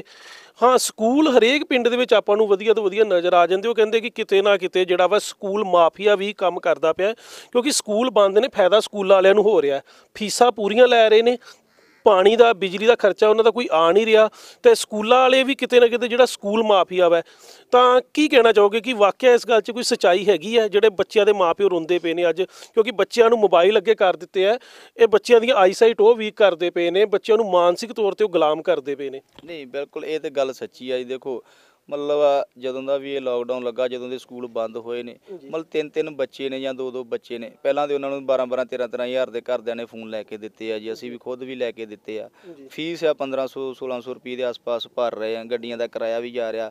ਦੇਖੋ ਹੋ ਸਕਦਾ ਹੈ ਪਰ ਇਹਦਾ ਮੈਂ ਪੱਕਾ ਕਲੀਅਰ ਨਹੀਂ ਤੁਹਾਨੂੰ ਕਹਿ ਸਕਦਾ ਕਿਉਂਕਿ ਜਦੋਂ ਆਪਾਂ ਐਸੀ ਚ ਪਵਾਂਗੇ ਜਾਂ ਤਾਂਗੇ ਫਿਰ ਕਿਉਂਕਿ ਹੁਣ ਸਾਨੂੰ ਜਿੱਦਾਂ ਰੇਤ ਮਾਫੀਆ ਦਾ ਪਤਾ ਕੇਵਲ ਮਾਫੀਆ ਦਾ ਜੇ ਸਬੂਤ ਹੈ ਹੋ ਸਕਦਾ ਸਕੂਲ ਮਾਫੀਆ ਵੀ ਹੋਵੇ ਜੀ। ਤਾਂ ਕਰਕੇ ਹੀ ਇਹ ਆਪਣੇ ਜਿਹੜੇ ਸਰਕਾਰੀ ਸਕੂਲ ਜਿਹੜੇ ਇਹਨਾਂ ਨੇ ਖੰਡਰ ਬਣਾ ਕੇ ਰੱਖ ਦਿੱਤੇ। ਹਾਂ ਇੰਨਾ ਜ਼ਰੂਰ ਹੈਗਾ ਆ ਕਿ ਜਦੋਂ ਮੰਨ ਲਓ ਕਿਸੇ ਬੱਚੇ ਨੂੰ ਐਡਮਿਸ਼ਨ ਨਹੀਂ ਮਿਲਦੀ ਕਿਉਂਕਿ ਮੈਂ ਖੁਦ ਆਪਣੇ ਅੱਖੀ ਦੇਖਿਆ ਮੇਰੇ ਬੱਚੇ ਵੀ ਕਨਵੈਂਟ ਸਕੂਲ ਹੀ ਨਾਲੇ ਪੜ੍ਹਦੇ ਨੇ। ਮੈਂ ਖੁਦ ਦੇਖਿਆ ਉਹ ਕਹਿੰਦੇ ਜੀ ਵੈਕੰਸੀਆਂ ਫੁੱਲ ਹੋ ਗਈਆਂ। ਉੱਥੇ ਜਦੋਂ ਹਰਪ੍ਰਤਾਪ ਦਾ ਫੋਨ ਵੱਜ ਗਿਆ ਤੇ ਨਾਲ ਨਾਲ ਵੈਕੰਸੀਆਂ ਖਾਲੀ ਵੀ ਹੋ ਗਈਆਂ। ਹੋ ਸਕਦਾ ਵੀ ਸਕੂਲ ਮਾਫੀਆ ਚਲਾਉਂਦੇ ਹੋਣ ਜੀ। ਹਾਂਜੀ। ਅੱਛਾ ਇੱਕ ਗੱਲ ਹੋਰ ਹੈ ਆਪਾਂ ਜਦੋਂ ਚਲੋ, ਸਾਰੇ ਵਰਗਾਂ ਦੀ ਗੱਲ ਕਰਦੇ ਹਾਂ ਇੱਥੇ। ਇੱਕ ਨੌਕਰੀ ਪੇਸ਼ਾ ਅਧਿਆਪਕ ਸੇਵਾਨ ਦੀ ਗੱਲ ਕਰੀਏ, ਸਰਕਾਰੀ ਸਕੂਲ ਬਾਹਰੋਂ ਬੜੇ ਵਧੀਆ ਲੱਗਦੇ ਪਏ ਨੇ ਦੇਖਣ ਨੂੰ। ਅੰਦਰ ਦੀ ਸੱਚਾਈ ਮੈਂ ਵੀ ਜਾਣਦਾ ਵਾਂ, ਤੁਸੀਂ ਵੀ ਜਾਣਦੇ ਹੋ, ਜਨਤਾ ਨੇ ਵੀ ਸਾਨੂੰ ਦੱਸੀ ਹੈ। ਕਿਉਂਕਿ ਅਸੀਂ ਵੀ ਸਰਕਾਰੀ ਸਕੂਲਾਂ 'ਚ ਪੜ੍ਹ ਕੇ ਇੱਥੋਂ ਤੱਕ ਆਏ ਹਾਂ, ਅੱਜ ਯੂਨੀਵਰਸਿਟੀਆਂ 'ਚ ਪੜ੍ਹਾ ਰਹੇ ਹਾਂ। ਤਾਂ ਇੱਕ ਜਿਹੜਾ ਸਵਾਲ ਹੈ ਕਿ ਟੀਚਰਾਂ ਦੀ ਵੱਡੀ ਮੁਸ਼ਕਲ ਇਹ ਹੈ ਕਿ ਉਹਨਾਂ ਦੀਆਂ ਜਿਹੜੀਆਂ ਡਿਊਟੀਆਂ ਨੇ, ਬੜੀ ਬੜੀ ਦੂਰ ਕੀਤੀਆਂ ਜਾਂਦੀਆਂ ਨੇ। ਅਧਿਆਪਕ ਕਹਿੰਦੇ, ਬੱਸ ਹੈ ਨਹੀਂ, ਕਿਉਂਕਿ ਅਸੀਂ ਇੱਥੋਂ ਦੀ ਟਰਾਂਸਪੋਰਟ ਦਾ ਵੀ ਦੇਖਿਆ, ਮਾੜਾ ਹਾਲ ਹੈ। ਬੱਸਾਂ ਦੇ ਟਾਈਮਿੰਗ ਨੇ ਬੱਸਾਂ ਬੜੀਆਂ ਘੱਟ ਨੇ ਅਧਿਆਪਕ ਜਿਹੜਾ ਅਧਿਆਪਿਕਾ ਵਾ ਇੱਕ ਲੇਡੀ ਅਧਿਆਪਿਕਾ ਵਾ ਉਹ 30 ਮੀਲ ਤੋਂ ਆਂਦੀ ਪਈ ਹੈ ਉਹ ਵੀ ਸਕੂਲ ਨੂੰ ਮਤਲਬ ਸਕੂਲ ਦੇ ਹਿਸਾਬ ਨਾਲ ਬੱਸ ਤੇ ਨਹੀਂ ਜਾਂਦੀ ਬੱਸ ਦੇ ਹਿਸਾਬ ਨਾਲ ਸਕੂਲ ਛੱਡ ਦਿੰਦੀ ਹੈ। ਤਾਂ ਕੀ ਲੱਗਦਾ ਪਿਆ ਕਿ ਇਹ ਕਾਰਨ ਨਹੀਂ ਹੈਗਾ ਕਿਤੇ ਨਾ ਕਿਤੇ? ਇਹ ਸਭ ਤੋਂ ਵੱਡੀ ਸਮੱਸਿਆ ਇਹ ਜੀ ਕਾਰਨ ਹੈਗਾ ਪਰ ਸ਼ਾਇਦ ਤੁਸੀਂ ਦੇਖਿਆ ਹੋਊਗਾ ਇਹ ਜਦੋਂ ਸਾਡੇ ਮਾਨ ਸਾਹਿਬ ਹੁਣਾਂ ਨੇ ਬਿਆਨ ਵੀ ਦਿੱਤਾ ਕਿ ਜਿੱਤੇ ਲਾਗੇ ਸਕੂਲ ਪੈਂਦਾ ਆ ਜਿਹੜੇ ਅਧਿਆਪਕ ਨੇ ਅਸੀਂ ਉਸੇ ਸਕੂਲਾਂ ਦੇ ਵਿੱਚ ਹੀ ਲਾਵਾਂਗੇ ਉਹਨਾਂ ਸਕੂਲਾਂ 'ਚ ਉਹ ਭਾਵੇਂ ਚਾਹੇ ਪਿੰਡ ਦਾ ਹੋਊਗਾ ਤੇ ਡਿਊਟੀ ਤੋਂ ਇੱਕ ਤਾਂ ਸਭ ਤੋਂ ਮੇਨ ਹੈ ਕਿ ਸਮਾਂ ਬਚਦਾ ਹੈ ਜੀ। ਹੁਣ ਮੰਨ ਲਓ ਇੱਕ ਨੇ 30 35 ਕਿਲੋਮੀਟਰ ਤੇ ਚੱਲ ਕੇ ਆਉਣਾ ਉਹ ਜਾਂਦਿਆਂ ਆਉਂਦਿਆਂ ਵੀ ਅੱਧਾ ਪੌਣਾ ਘੰਟਾ ਲੱਗਣਾ ਸੋ ਇੱਕ ਤੇ ਉਹ ਸਮਾਂ ਬਚੂਗਾ ਉਦਾਂ ਵੱਧ ਜਿਹੜਾ ਬੱਚਿਆਂ ਨੂੰ ਪੜਾਇਆ ਜਾਊਗਾ ਐਜੂਕੇਸ਼ਨ ਜ਼ਰੂਰੀ ਆ। ਸੋ ਇਸ ਕਰਕੇ ਤਾਂ ਮਸਲਾ ਹੱਲ ਹੋ ਜਾਊਗਾ ਕੋਈ ਨਹੀਂ ਤਾਂ ਪਹਿਲਾਂ ਹੀ ਅਸੀਂ ਕਹਿ ਚੁੱਕੇ ਹਾਂ ਜੀ ਲਾਗੇ ਟੀਚਰ ਆ ਜਿਹੜਾ ਹਾਇਰ ਐਜੂਕੇਸ਼ਨ ਦਾ ਬੜਾ ਮਾੜਾ ਹਾਲ ਜੀ। ਕਾਲਜਾਂ ਦੇ ਵਿੱਚ ਜਾ ਕੇ ਦੇਖ ਲਓ ਸਰਕਾਰੀ ਕਾਲਜ ਬੰਦ ਹੋਣ ਦੀ ਕਗਾਰ ਤੇ ਆ, ਪਹਿਲਾਂ ਹੀ ਨੰਬਰ ਆਫ ਕਾਲਜਸ ਘੱਟ ਹੈ। ਜਦੋਂ ਵੀ ਗੱਲ ਕਰਦੇ ਆ ਜਨਤਾ ਦੇ ਲਈ, ਤਾਂ ਉਹ ਕਹਿੰਦੇ ਆ ਜੀ, ਗਲੀਆਂ ਨਾਲੀਆਂ ਤੇ ਅਸੀਂ ਤਾਂ ਬਣਾਉਂਦੇ ਪਏ ਆ ਕਿਉਂਕਿ ਪਾਪੂਲੇਸ਼ਨ ਵੱਧਦੀ ਜਾ ਰਹੀ ਹੈ। ਪਰ ਜਦੋਂ ਇਹ ਸਵਾਲ ਪੁੱਛੀਦਾ ਕਿ ਭਾਈ ਜੇ ਪਾਪੂਲੇਸ਼ਨ ਵੱਧਦੀ ਜਾ ਰਹੀ ਹੈ ਸਕੂਲ ਕਾਲਜ ਕਿਉਂ ਨਹੀਂ ਵੱਧਦੇ ਪਏ? ਹਸਪਤਾਲ ਕਿਉਂ ਨਹੀਂ ਵੱਧਦੇ ਪਏ? ਤਾਂ ਕੀ ਲੱਗਦਾ ਪਿਆ ਕਿ ਤੁਹਾਡੀ ਸਰਕਾਰ ਆਏਗੀ, ਵਧਾਓਗੇ ਸਕੂਲ ਕਾਲਜ ਹਸਪਤਾਲ ਜਿਹੜੇ ਵਿਦਿਅਕ ਅਦਾਰਿਆਂ ਦੀ ਆਪਾਂ ਗੱਲ ਕਰੀਏ? ਕਿਉਂਕਿ ਪ੍ਰਾਈਵੇਟ ਯੂਨੀਵਰਸਿਟੀਆਂ ਬੜੀਆਂ ਵੱਧ ਗਈਆਂ ਨੇ ਸਰਕਾਰੀ ਘਟਦੀਆਂ ਜਾ ਰਹੀਆਂ। ਨਹੀਂ ਬਿਲਕੁਲ ਦੇਖੋ ਪਤਾ ਕਿ ਮੈਂ ਤੇ ਅੱਗੇ ਵੀ ਗੱਲ ਕਰ ਦਿੰਦਾ ਕਿ 2008-9 ਦੀ ਗੱਲ ਆ। ਅਸੀਂ ਖਾਲਸਾ ਕਾਲਜ ਗਏ ਸੀ ਮੰਨਿਆ ਪਰਮੰਨਿਆ ਕਾਲਜ ਆ ਜੀ ਆਪਣਾ ਹਨ? ਐਡਮਿਸ਼ਨਾਂ ਸੀ ਜੀ ਉਦੋਂ ਮਿਲੀਆਂ ਵੈਕੰਸੀਆਂ ਫੁੱਲ ਹੋ ਗਈਆਂ ਸੀ। ਪਰ ਅੱਜ ਬੜੇ ਦੁੱਖ ਨਾਲ ਕਹਿਣਾ ਪੈ ਰਿਹਾ ਕਿ ਅਸੀਂ ਮਹੀਨੇ ਦੇ ਆਸ-ਪਾਸ ਹੋ ਗਏ ਲੋਪੋ ਕੀ ਖੜੇ ਸੀ। ਉੱਥੇ ਉਹ ਵੀਰ ਉੱਥੋਂ ਦਾ ਸਟੂਡੈਂਟ ਸੀ ਪੜਦਾ ਸੀ। ਤੇ ਉਹ ਕਹਿੰਦਾ ਜੀ ਕਿ 18 ਤੋਂ 20 ਵਿਦਿਆਰਥੀ ਨੇ ਜਿਹੜੇ ਇਸ ਟਾਈਮ ਬੀਏ ਕਰ ਰਹੇ ਨੇ। ਤੋਂ ਖਾਲਸਾ ਕਾਲਜ ਇੱਕ ਮੰਨਿਆ ਪਰਮੰਨਿਆ ਕਾਲਜ ਉੱਥੋਂ ਦਾ ਇਹ ਹਾਲ ਆ ਜਿਹੜੇ ਬੰਦ ਕਰਨ ਦੇ ਕਿਨਾਰੇ ਤੇ ਆ ਜਾਂ ਬੰਦ ਕਰ ਹੀ ਚੁ- ਚੁੱਕੇ ਨੇ ਇੱਕ ਹਿਸਾਬ ਦਾ ਕਹਿ ਸਕਦੇ ਆ ਕਿ ਜਿੱਥੇ ਐਡਮਿਸ਼ਨਾਂ ਨਹੀਂ ਮਿਲਦੀਆਂ 18 20 ਵਿਦਿਆਰਥੀ ਕੋਈ ਵੱਡੀ ਗੱਲ ਨਹੀਂ ਅੱਜ ਖਾਲਸਾ ਕਾਲਜ ਵਾਲੇ ਆਪ ਘਰਾਂ ਦੇ ਵਿੱਚ ਆ ਰਹੇ ਨੇ ਕਿ ਸਾਡੇ ਕਾਲਜਾਂ ਦੇ ਵਿੱਚ ਐਡਮਿਸ਼ਨਾਂ ਲਓ। ਸੋ ਕਿਉਂਕਿ ਇਹ ਇੱਕ ਬਿਲਕੁਲ ਮੇਨ ਮੁੱਦਾ ਇਹੀ ਹੈ ਕਿ ਇਹਨਾਂ ਨੇ ਸਿਰਫ ਇੱਕੋ ਹੀ ਸਾਡਾ ਮਾਈਂਡ ਸੈੱਟ ਕਰਕੇ ਰੱਖਤਾ ਕਿ ਪਲੱਸ 2 ਕਰ ਲਓ ਆਈਲਟਸ ਕਰ ਲਓ ਤੇ ਬਾਹਰ ਚਲੇ ਜਾਓ। ਆਪਣੇ ਜਿਹੜੇ ਮਾਪੇ ਉਹ ਵੀ ਇਹ ਸੋਚਦੇ ਕਿ ਸਾਡਾ ਧੀਆ ਪੁੱਤ ਗਲਤ ਨਸ਼ੇ ਦੇ ਨਾਲ ਆ ਜੇ ਗਲਤ ਲਾਈਨ 'ਚ ਨਾ ਜੇ। ਸੋ ਉਹਨਾਂ ਦਾ ਮਾਪਿਓ ਦਾ ਵੀ ਇਹੀ ਹੈ ਕਿ ਪਲੱਸ 2 ਕਰਾ ਲਓ ਤੇ ਬਾਹਰ ਚਲੇ ਜਾਓ। ਸੋ ਸਰਕਾਰੀ ਦਾਰੇ ਅਸੀਂ ਜਿਹੜੇ ਆ ਹਰ ਹਲਕੇ ਦੇ ਵਿੱਚ ਅਪਰੋਚ ਕਰ ਰਹੇ ਹਾਂ ਕਿ ਹਰ ਹਲਕੇ ਦੇ ਵਿੱਚ ਸਾਡੇ ਇੱਕ ਭੈਣਾਂ ਦਾ ਕਾਲਜ ਵੱਖਰਾ ਹੋਵੇ ਵੀਰਾਂ ਦਾ ਕਾਲਜ ਵੱਖਰਾ ਹੋਵੇ ਔਰ 100% ਹੈ ਵੀ ਆਪਾਂ ਕਰਾਂਗੇ। ਜੀ। ਅੱਛਾ ਇੱਕ ਸਵਾਲ ਹੋਰ ਹੈ ਚਲੋ ਤੁਸੀਂ ਵਿੱਚ ਗੱਲ ਕੀਤੀ ਬੱਚੇ ਜਿਹੜੇ ਸਾਡੇ ਬਾਹਰ ਜਾ ਰਹੇ ਨੇ ਰੋਕਣ ਵਾਸਤੇ ਹੈ ਕੁਝ ਕੀ ਬੱਚੇ? ਕਿਉਂਕਿ ਬੱਚੇ, ਜਦੋਂ ਅਸੀਂ ਗੱਲ ਕਰਦੇ ਹਾਂ ਨੌਜਵਾਨਾਂ ਨਾਲ, ਉਹ ਇੱਕੋ ਹੀ ਗੱਲ ਕਹਿੰਦੇ ਕਹਿੰਦੇ ਭਾਈ ਸਾਨੂੰ ਦੱਸ ਦਿਓ, ਫਿਰ ਅਸੀਂ ਕਰੀਏ ਕੀ? ਕਿਉਂਕਿ ਰੁਜ਼ਗਾਰ ਸਾਡੇ ਕੋਲ ਹੈ ਨਹੀਂ ਆ। ਗੱਲ ਵਿਕਾਸ ਦੀ ਜਦੋਂ ਆਉਂਦੀ ਹੈ, ਕੋਈ ਪਾਰਟੀ ਕਹਿ ਦਿੰਦੀ, ਭਾਈ ਤੁਹਾਨੂੰ 300 ਯੂਨਿਟ ਦਵਾਂਗੇ। ਦੂਜੀ ਪਾਰਟੀ ਕੱਟਣ ਵਾਸਤੇ 400 ਯੂਨਿਟ ਦੀ ਗੱਲ ਕਰ ਦਿੰਦੀ ਹੈ। ਤੁਸੀਂ ਗੱਲ ਕਰ ਦਿੱਤੀ 1000 ਰੁਪਏ ਦੇਣ ਦੀ, ਅਕਾਲੀ ਦਲ ਤੇ ਕਾਂਗਰਸ ਨੇ ਗੱਲ ਕਰ ਦਿੱਤੀ 2-2000 ਰੁਪਏ ਦੇਣ ਦੀ। ਤਾਂ ਮਾਨ ਸਾਹਿਬ ਦੀ ਗੱਲ ਕਰੀਏ, ਉਹ ਕਹਿੰਦੇ ਇਹਨਾਂ ਨੇ ਭਿਖਾਰੀ ਬਣਾ ਕੇ ਰੱਖਤਾ, ਪਰ ਹੁਣ ਕਿਤੇ ਨਾ ਕਿਤੇ ਪਾਰਟੀ ਆਪ ਵੀ ਉਹੀ ਗੱਲ ਤੇ ਕਹਿ ਰਹੀ ਕਿ ਤੁਹਾਨੂੰ 1000 ਰੁਪਇਆ ਦੇਵਾਂਗੇ 300 ਯੂਨਿਟ ਦੇਵਾਂਗੇ, ਇਹਨੂੰ ਕਿਵੇਂ ਦੇਖਦੇ ਫਿਰ? ਨਹੀਂ ਜਿਹੜੇ ਸਾਡੇ 1000 ਰੁਪਏ ਦੀ ਗੱਲ ਹੈ ਨਾ ਅਸੀਂ ਤੇ ਮਾਨ ਸਨਮਾਨ ਦੀ ਗੱਲ ਕਰ ਰਹੇ ਨੇ ਕਿ ਜਿਹੜੇ ਸਾਨੂੰ ਕਈ ਪਰਿਵਾਰ ਮਿਲੇ ਨੇ ਜੀ ਜਿਹੜੀਆਂ ਭੈਣਾਂ ਸਾਡੀਆਂ ਕਾਲਜ ਜਾਂਦੀਆਂ। ਕਿ ਯਾਰ ਸਾਡੇ ਕੋਲ ਕਿਰਾਇਆ ਹੈ ਨਹੀਂ ਸੀ ਜਾਣ ਨੂੰ ਹਨਾ ਆਉਣ ਨੂੰ। ਅਸੀਂ ਤੇ ਉਹ ਗੱਲ ਕਰਦੇ ਕਿ ਚਾਹੇ 1000 ਰੁਪਏ ਉਹਨਾਂ ਨੂੰ ਮਿਲ ਜੂਗਾ ਚੈੱਕ ਘਰ ਦੇ ਵਿੱਚ ਦੋ ਨੇ ਜਾਂ ਤਿੰਨ ਭੈਣਾਂ ਨੇ ਸਾਡੀਆਂ ਦੋ ਤਿੰਨ ਹਜ਼ਾਰ ਰੁਪਏ ਆ ਜੂਗਾ ਉਹ ਆਪਣਾ ਜਿਹੜਾ ਜ਼ਿਆਦਾ ਨਹੀਂ ਤੇ ਬੱਸ ਕਿਰਾਇਆ ਜਿਹੜਾ ਉਹ ਆਪਣਾ ਲਾ ਸਕਦੀਆਂ ਜਿਹੜੀਆਂ ਪੜ੍ਹ ਲਿਖ ਸਕਦੀਆਂ। ਔਰ ਜਿੱਥੋਂ ਤੱਕ ਗੱਲ ਰਹੀ ਬਾਹਰ ਜਾਣ ਦੀ ਉਹ ਬੜਾ ਆਸਾਨ ਹੈ ਜੀ ਉਹ ਤੇ ਬੜਾ ਤੁਹਾਨੂੰ ਵੀ ਕਲੀਅਰ ਆ ਕਿ ਸਾਡੇ ਖਾਸ ਕਰਕੇ ਤੁਸੀਂ ਇੱਕ ਬੈਂਕ ਦਾ ਮਹਿਕਮਾ ਹੀ ਲੈ ਲਓ। ਤੁਸੀਂ ਉਹਦੇ ਦੇਖਿਆ ਕਿ ਜੇ 8 ਮੁਲਾਜ਼ਮ ਕੰਮ ਕਰਦੇ ਨੇ ਤੇ ਦੋ ਉੱਥੇ ਸਿਰਫ ਸਾਡੇ ਪੰਜਾਬੀ ਵੀਰ ਹੁੰਦੇ ਨੇ 8 ਇਹਨਾਂ ਨੇ ਬਾਹਰੋਂ ਲਿਆਣ ਕੇ, ਹਨਾ, ਕੋਈ ਯੂਪੀ ਦਾ ਲਾਤਾ, ਬਿਹਾਰ ਦਾ, ਕਨਾ, ਪਤਾ ਨਹੀਂ ਕਿੱਥੋਂ ਕਿੱਥੋਂ ਲਾਤੇ, ਕਿਉਂਕਿ ਸਾਡੇ ਵੀ ਇੱਥੇ ਪੜ੍ਹੇ ਲਿਖੇ ਧੀਆਂ ਪੁੱਤ ਹੈਗੇ ਨੇ ਜਿਨ੍ਹਾਂ ਨੇ ਸਭ ਕੁਝ ਪੜ੍ਹੇ ਲਿਖੇ ਨੇ, ਉਹ ਸਾਰੇ ਆਪਾਂ ਇੱਥੇ ਸੈੱਟ ਕਰਾਂਗੇ। ਔਰ ਤੁਸੀਂ ਬਾਹਰ ਜਾਣ ਦੀ ਗੱਲ ਕਰਦੇ ਹੋ, ਤੁਸੀਂ ਇਹੋ ਜਿਹਾ ਪੰਜਾਬ ਬਣਾ ਦਾਂਗੇ ਕਿ ਜਿਹੜੇ ਬਾਹਰ ਗਏ ਨਾ ਉਹ ਵੀ ਪੰਜਾਬ ਦੇ ਵਿੱਚ ਆਉਣਗੇ। ਹਾਂਜੀ। ਇੱਕ ਅਸੀਂ ਜਦੋਂ ਗੱਲ ਕਰਦੇ ਪਏ ਪੰਜਾਬੀਆਂ ਦੀ ਗਿਣਤੀ ਦਿਨ ਬ ਦਿਨ ਜਿਹੜੀਆਂ ਸਿਵਲ ਸਰਵਿਸਿਜ਼ ਨੇ ਉਹਨਾਂ ਦੇ ਵਿੱਚ ਘਟਦੀ ਜਾ ਰਹੀ ਹੈ। ਵਾਅਦੇ ਇਹ ਕੀਤੇ ਜਾ ਰਹੇ ਨੇ ਕਿ ਅਸੀਂ ਵਿਦਿਆਰਥੀਆਂ ਨੂੰ ਕੋਈ ਪਾਰਟੀ ਕਹਿ ਰਹੇ ਕਿ ਸਕੂਟਰੀਆਂ ਦਵਾਂਗੇ। ਕੋਈ ਪੰਜਵੀਂ ਤੋਂ ਬਾਅਦ 5000 10000 ਦੇਣ ਦੀਆਂ ਵੀ ਗੱਲਾਂ ਕਰਦੇ ਪਿਆ ਮੈਂ ਕਿਸੇ ਉਮੀਦਵਾਰ ਦੇ ਕੋਲੋਂ ਅੱਜ ਤੱਕ ਇਹ ਨਹੀਂ ਸੁਣੀ ਕਿ ਮੈਂ ਆਪਣੇ ਹਲਕੇ ਦੇ ਵਿੱਚ ਕੋਈ ਲਾਇਬ੍ਰੇਰੀ ਖੋਲ ਦਵਾਂਗਾ ਕਿ ਬੱਚੇ ਇੱਥੋਂ ਸਿਵਲ ਸਰਵਿਸ ਦੀ ਤਿਆਰੀ ਕਰਨ। ਆਖਰ ਸਾਡੇ ਬੱਚੇ ਪੀਸੀਐਸ ਅਫਸਰ ਲੱਗਣ ਸਾਡੇ ਬੱਚੇ ਆਈਐਸ ਅਫਸਰ ਲੱਗਣ। ਅਸੀਂ ਦੇਖਦੇ ਪਏ ਨੰਬਰ ਲਾਰਜ ਨੰਬਰ ਉਹ ਜਿਹੜੇ ਆਈਐਸ ਪੀਸੀਐਸ ਆ, ਬਾਹਰੋਂ ਆਣ ਕੇ ਸਾਡੇ ਤੇ ਹਕੂਮਤਾਂ ਕਰਦੇ ਪਏ ਡੀਸੀ ਜ਼ਿਲ੍ਹੇ ਦਾ ਇੱਕ ਸਾਡਾ ਮਾਲਕ ਹੈ। ਤਾਂ ਕਿਉਂ ਨਾ ਮਤਲਬ ਲੱਗਦਾ ਨਹੀਂ ਪਿਆ ਕਿ ਇਹੋ ਜਿਹਾ ਕੰਮ ਹੋਣਾ ਚਾਹੀਦਾ ਲਾਇਬ੍ਰੇਰੀਆਂ ਖੁੱਲਣ। ਨਹੀਂ ਉਹ ਇਹੀ ਤੇ ਤੁਹਾਨੂੰ ਮੈਂ ਬੇਨਤੀ ਕਰ ਰਿਹਾ ਕਿ ਇਹੀ ਸਾਰਾ ਅਸੀਂ ਕਰਨ ਜਾ ਰਹੇ ਹਾਂ। ਜੋ। ਵੀ ਹੈ ਹੁਣ ਮਤਲਬ ਬਾਈਆਂ ਦੇ ਵਿੱਚੋਂ 16 ਡੀਸੀ ਇਹਨਾਂ ਬਾਹਰੋਂ ਲਿਆਣ ਕੇ ਫਿੱਟ ਕੀਤੇ ਜੀ। 22 ਐਸਐਸਪੀ ਬਾਹਰੋਂ ਲਿਆਣ ਕੇ ਫਿੱਟ ਕੀਤੇ ਆ। ਸੋ ਸਾਡੇ ਪੰਜਾਬ ਦੇ ਵਿੱਚ ਆਈਪੀਐਸ ਅਫਸਰ ਹੈਗੇ ਨੇ ਬੜੇ ਬੜੇ ਇਮਾਨਦਾਰ ਅਫਸਰ ਬੈਠੇ ਨੇ ਸਾਡੇ। ਸੋ ਉਹ ਪੰਜਾਬ ਦੇ ਵਿੱਚ ਹੀ ਆਪਾਂ ਜਿਹੜੇ ਪੰਜਾਬ ਦੇ ਨੇ ਪੰਜਾਬ ਦੇ ਵਿੱਚ ਹੀ ਲਾਵਾਂਗੇ। ਕਿਉਂਕਿ ਇਹ ਤੇ ਬਾਹਰੋਂ ਜਿਹੜੇ ਆਉਂਦੇ ਸਾਡੀ ਮਾਂ ਬੋਲੀ ਪੰਜਾਬੀ ਦਾ ਵੀ ਕਾਣ ਕਰੀ ਜਾ ਰਹੇ। ਹਿੰਦੀ 'ਚ ਗੱਲ ਕਰਦੇ ਸਾਡੇ ਜਿਹੜੇ ਪੁਰਾਣੇ ਬਜ਼ੁਰਗ ਉਹਨਾਂ ਨੂੰ ਵੈਸੇ ਨਹੀਂ ਪਤਾ ਲੱਗਦਾ ਜੀ। ਅੱਛਾ ਇੱਕ ਆਪਾਂ ਗੱਲ ਕਰੀਏ ਵੀਰ ਸਿੰਘ ਲੋਪੋ ਕੋ ਇੱਥੋਂ ਜਿਹੜੇ ਦੋ ਵਾਰੀ ਵਿਧਾਇਕ ਰਹੇ ਪਿਛਲੀਆਂ ਚਲੋ ਤਿੰਨ ਵਾਰੀਆਂ ਤੋਂ ਉਹ ਇਲੈਕਸ਼ਨ ਹਾਰ ਗਏ। ਸਰਕਾਰ ਦੇ ਵਿੱਚ ਰਹਿ ਕੇ ਵੀ ਪਾਵਰ 'ਚ ਸੀ। ਉਹਨਾਂ ਦੀ ਭੂਮਿਕਾ ਨੂੰ ਕਿਵੇਂ ਦੇਖਦੇ? ਕਿਉਂਕਿ ਉਹ ਐਸਜੀਪੀਸੀ ਦੇ ਮੈਂਬਰ ਵੀ ਨੇ ਨਾਲ। ਨਹੀਂ ਉਹ ਤੇ ਤੁਹਾਡੇ ਸਾਹਮਣੇ ਆ ਜੀ। ਦੇਖੋ ਪਤਾ ਕੀ ਆ? ਉਹਦੀ ਭੂਮਿਕਾ ਦਾ ਮੈਂ ਕੀ ਹੁਣ ਕਹਿ ਸਕਦਾ ਕਿ ਜਿਹੜਾ ਇੱਕ ਜਦੋਂ ਗੁਰੂ ਗ੍ਰੰਥ ਸਾਹਿਬ ਜੀ ਦੀ ਬੇਦਬੀ ਦੀ ਗੱਲ ਹੋਈ ਹੋਵੇ ਜਿਹੜਾ ਉਸ ਹਲਕੀ ਦੀ ਜ਼ਿੰਮੇਵਾਰੀ ਆ ਉਹਨੂੰ ਮਹਿੰਦਾ ਆ। ਜਿਹੜਾ ਉਹ ਬਿਆਨ ਖੁਦ ਆਪ ਹੀ ਦੇ ਰਿਹਾ ਹੋਵੇ ਕਿ ਕਿਤੇ ਮਾੜੀ ਮੋਟੀ ਜੀ ਗੱਲ ਹੈ ਜੀ ਗੁਰੂ ਗ੍ਰੰਥ ਸਾਹਿਬ ਜੀ ਦੀ ਬੇਦਬੀ ਹੋਣੀ ਹੈ ਤੇ ਹੁੰਦੀਆਂ ਰਹਿੰਦੀਆਂ ਕੋਈ ਵੱਡੀ ਗੱਲ ਨਹੀਂ। ਸੋ ਉਹ ਤੋਂ ਆਪਾਂ ਹਲਕੇ ਦੀ ਕੀ ਆਸ ਕਰਦੇ ਹੋ? ਤੇ ਉਹਦੇ ਤੇ ਫਿਰ ਜ਼ੀਰੋ ਹੀ ਆਸ ਰੱਖਾਂਗੇ ਕਿ ਜਨਾ ਜਿਹੜਾ ਉਹ ਸਾਡੇ ਗੁਰੂ ਗ੍ਰੰਥ ਸਾਹਿਬ ਜੀ ਦਾ ਨਹੀਂ ਹੋਇਆ ਸਾਡੇ ਗੁਰੂਆਂ ਦਾ ਨਹੀਂ ਹੋਇਆ ਸਾਡਾ ਜਾਂ ਹਲਕੇ ਦਾ ਕਿੱਥੋਂ ਹੋਊਗਾ ਜੀ? ਉਹਦੇ ਬਾਰੇ ਤੇ ਕਮੈਂਟ ਕਰਨਾ ਮੈਂ ਸਹੀ ਨਹੀਂ ਸਮਝਦਾ ਵੀ। ਜੀ। ਅੱਛਾ ਇੱਕ ਗੱਲ ਹੋਰ ਹੈ ਚਲੋ ਹੁਣ ਤੁਸੀਂ ਚੋਣਾਂ ਦੇ ਵਿੱਚ ਜਾ ਰਹੇ ਹੋ। ਕੋਈ ਖਾਸ ਗੱਲ ਜਿਹੜੀ ਕਿ ਦੂਜੇ ਉਮੀਦਵਾਰਾਂ ਨਾਲੋਂ ਜਾਂ ਦੂਜੀਆਂ ਪਾਰਟੀਆਂ ਨਾਲੋਂ ਵੱਖਰੀ ਹੈ, ਜਿਹੜੀ ਤੁਹਾਡੀ ਹੋਵੇ, ਖਾਸ ਕਰਕੇ ਆਪਾਂ ਬਾਰਡਰ ਬੈਲਟ ਦੇ ਸੰਦਰਭ ਦੇ ਵਿੱਚ ਗੱਲ ਕਰੀਏ। ਕਿਉਂਕਿ ਬਾਕੀਆਂ ਨੇ ਤਾਂ ਕਹਿਤਾ ਜੀ, ਅਸੀਂ ਮਾਈਨਿੰਗ ਨੂੰ ਵੀ ਕਹਿਤਾ ਕੋਈ ਵੱਡੀ ਗੱਲ ਨਹੀਂ ਹੈ ਨਸ਼ਿਆਂ ਨੂੰ ਵੀ ਕਹਿਤਾ ਅਸੀਂ ਖਤਮ ਕਰ ਦੇਵਾਂਗੇ। ਗੱਲੀ ਬਾਤੀ ਸਾਰਾ ਕੁਝ ਕਰ ਜਾਂਦੇ ਨੇ। ਤੁਸੀਂ ਕੀ ਕਰਨਾ ਚਾਹੋਗੇ ਹਲਕੇ ਵਾਸਤੇ, ਜਿਹੜਾ ਕਿ ਇੱਥੋਂ ਦੇ ਪਿਛਲੇ ਵਿਧਾਇਕਾਂ ਨੇ ਨਹੀਂ ਕੀਤਾ? ਨਹੀਂ ਪਿਛਲੇ ਵਿਧਾਇਕਾਂ ਦੀ ਗੱਲ ਕਰ ਲਈਏ ਤੇ ਗਲੀਆਂ ਨਾਲੀਆਂ ਤੋਂ ਬਗੈਰ ਉਹਨਾਂ ਕੁਝ ਵੀ ਨਹੀਂ ਕੀਤਾ। ਮੇਰੀ ਜਿਹੜੀ ਸੋਚ ਹੈ ਜਿਹੜੀ ਮੈਂ ਆਪਣੀ ਸਮਝ ਲੈ ਕੇ ਚੱਲਿਆ ਮੈਂ ਤੇ ਪਹਿਲਾਂ ਜਿਹੜੇ ਸਾਡੇ 26 ਪਿੰਡ ਨੇ ਜੀ ਰਾਜ ਸਿੱਖ ਵੀਰਾਂ ਦੇ ਬਾਰਡਰ ਬੈਲਟ ਦੇ ਮੈਂ ਤੇ ਪਹਿਲਾਂ ਇਹਨਾਂ ਦੀ ਪਹਿਲਾਂ ਵੀ ਗੱਲ ਕੀਤੀ ਕਿ ਇੱਥੇ ਕੋਈ ਸਾਨੂੰ ਇੰਡਸਟਰੀ ਕੋਈ ਫੈਕਟਰੀ ਜ਼ਰੂਰ ਦਿਓ ਕਿਉਂਕਿ ਉਹਦੇ ਦੋ ਕਾਰਨ ਹੈ ਜੀ। ਦੇਖੋ ਇੱਕ ਤੇ ਉਹ ਵਿਚਾਰੇ 8-9 ਮਹੀਨੇ ਘਰੋਂ ਬਾਹਰ ਰਹਿੰਦੇ ਆ।